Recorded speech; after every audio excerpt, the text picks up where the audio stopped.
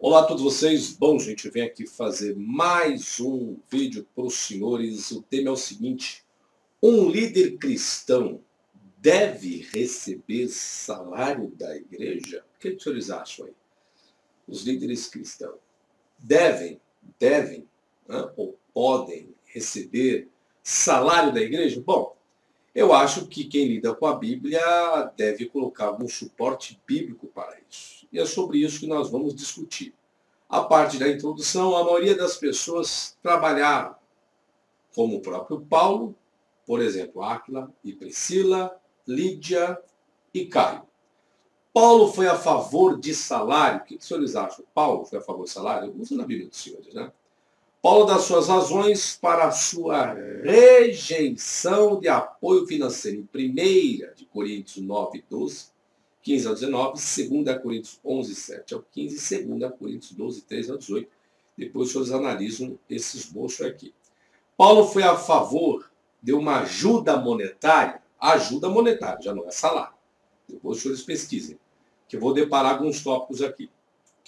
Por que Paulo aceitou o apoio financeiro dos filipenses e recusou o apoio quando estava em Corinto e em Tessalônica?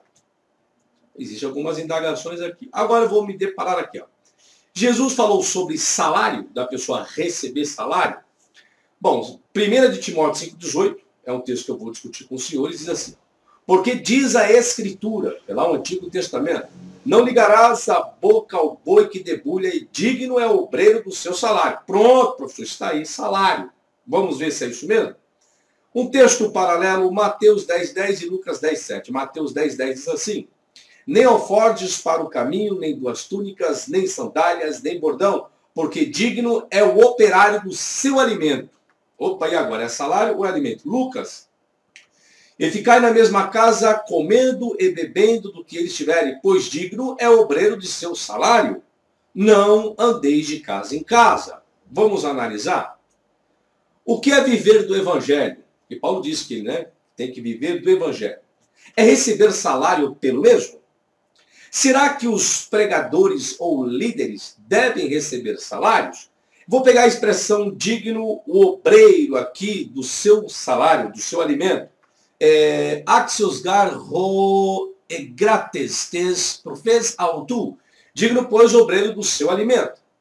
Para Mateus, o missionário pode receber comida e aceitar alojamento gratuito, mas ele não deve pedir mais nada.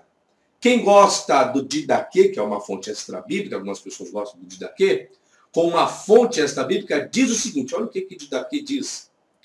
Quando ele partir, o missionário, o apóstolo, não receberá nada, exceto pão, até que encontre abrigo. Mas se ele pedir dinheiro, ele é um falso profeta. Então, segundo Didaquê, não tem nenhum falso profeta hoje em dia.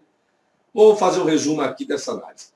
Os ditos de Jesus nos evangelhos diz que não é para receber dinheiro, e sim alimentos na casa onde estiver anunciando o evangelho. Portanto, contradiz em receber valores monetários. Vamos pegar o contexto aqui. Gente, veja bem. O contexto de Mateus e de Lucas é o mesmo. Porque está se tratando do quê? De comida e bebida. Porque digno é o operário do seu alimento. E aqui a mais está escrito aqui, o mesmo versículo que Lucas faz uso é o mesmo versículo que Paulo faz uso, a parte final que está em vermelho. Você vê que o contexto aqui vai se tratar do quê? De comida e bebida e não de salário. Não tem desculpa, tá certo? Bom, para que servia as campanhas para Paulo? Algumas denominações fazem campanha, né, financeiramente, para levantar o caixa da denominação. Vamos ver para que servia as campanhas? 1 de Coríntios 16, do 1 ao 4. Ora, quanto à coleta, né? Coletar, a campanha serve para coletar, fazer coletagem. Que se faz para os santos, fazei vós também o mesmo que ordenei às igrejas da Galácia no primeiro dia da semana, cada um de vós ponha de parte o que puder, o que puder ajuntar, conforme a sua prosperidade, né, obrigatoriamente, é o que se pode, para que se não façam, para que se não façam as coletas quando eu chegar.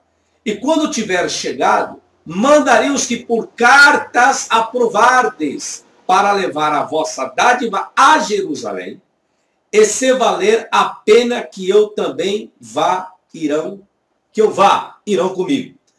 Agora vamos saber para que servia essa coleta, né? Quando Paulo se refere a dinheiro, era para fins de caridade, para ajudar os santos pobres, não para fornecer suporte para o ministério de uma pessoa local na igreja. Embora Paulo não tenha pedido às igrejas que ele trabalhou para apoiá-lo financeiramente. E ele não hesitou em pedir-lhes para contribuir para um de seus projetos em andamento. Qual era o projeto em andamento?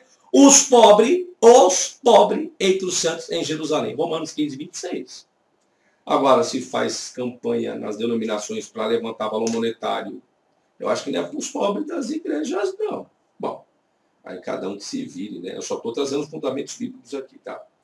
A coleta é mencionada em Gálatas 2,10 em conexão com a visita de Paulo aos apóstolos de Jerusalém. Paulo concorda em lembrar-se dos pobres, em Romanos 15, 25 ao 32. Paulo faz menção da contribuição para Jerusalém. Essa contribuição vem dos santos da Macedônia e da Acaia, como uma resposta grata pelas bênçãos que receberam da unidade entre judeus e gentios em Cristo.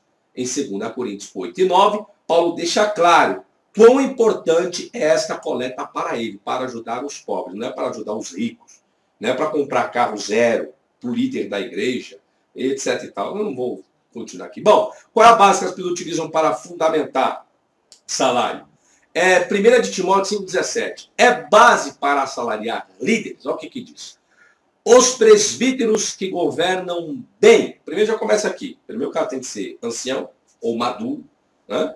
E que governa bem bem, que governa bem, sejam estimados por dignos de duplicada honra. Aqui é onde que entra o vocábulo honra, que alguns dizem que é financeiramente. Principalmente os que trabalham na palavra e na doutrina. Vamos ver se é salário. Qual o significado do vocábulo grego timé?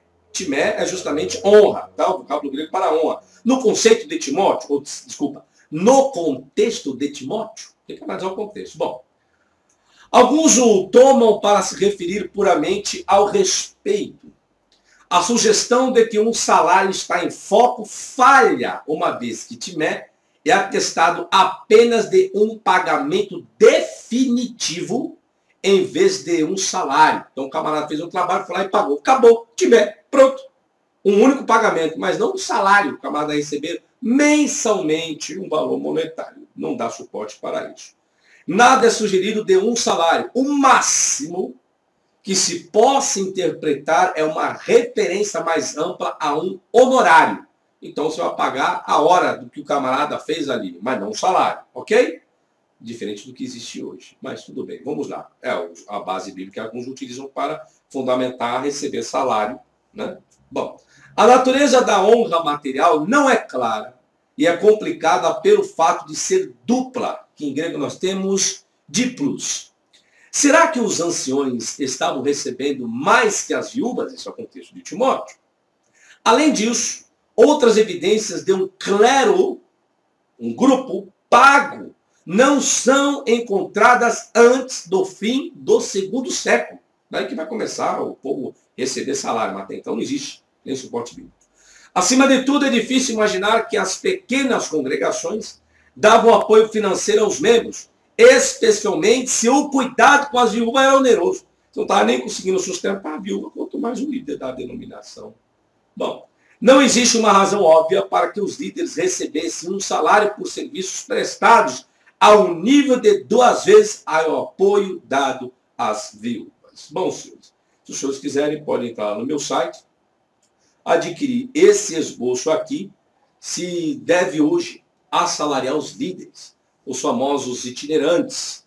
Bom, segundo a Bíblia, de vocês mesmos, não existe suporte para isso.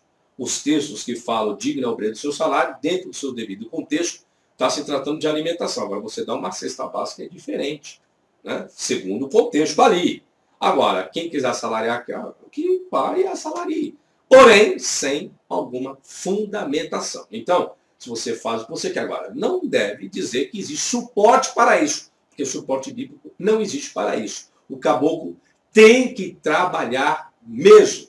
Bom, e as bases estão aí e fica a critério de cada um. Não se esqueçam de se inscreverem no, no meu canal do YouTube, que é o que tem mais de 4 milhões de visualizações e mais de 20 mil inscritos, tá certo? Lá no canal do YouTube, que eu tenho mais de 400 vídeos, lá, acho que mais de 500 vídeos. E não se esqueça também de curtir a minha fanpage no Facebook, é Professor Fábio Sabino, onde também posto meus vídeos. E adquire esses bolsos no meu site, que é o www.professorfabiosabino.com.br. Sucesso a todos vocês. Até o próximo. Tchau, tchau.